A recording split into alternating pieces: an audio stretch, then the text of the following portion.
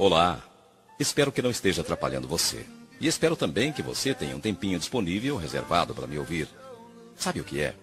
É que senti a necessidade de falar ao seu coração e lhe desejar uma boa noite, a qual possa trazer a você muitos sonhos bons.